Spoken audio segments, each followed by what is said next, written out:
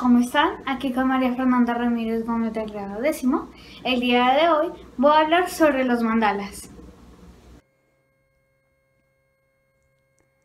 Los mandalas cada vez se hacen más conocidos por todos y así llamando su atención, siendo aliado de la relajación, meditación, paz, tranquilidad, etc. Tienen su origen en India, siendo su significado círculo. Estos están formados de figuras geométricas. Cada uno de estos tienen diferentes diseños y dependerán de las formas y de los colores.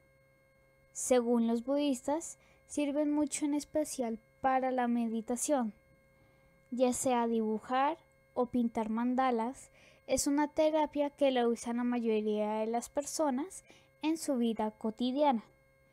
El primer terapeuta quien lo usó fue Carl Gustav Jung, un psicólogo y psiquiatra suizo. Los mandalas en las terapias psicológicas disminuyó los síntomas de aquellos que sufrían del trastorno de estrés postraumático. Un estudio en el cual se dividieron dos grupos, un grupo de control y el otro experimental.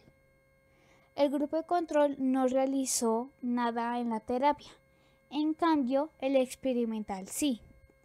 Este estudio demostró que las personas que estaban en el grupo experimental se les disminuyeron los síntomas durante la terapia. Espero que les haya gustado. Los mandalas sirven mucho para la meditación y nos vemos en una próxima. Adiós.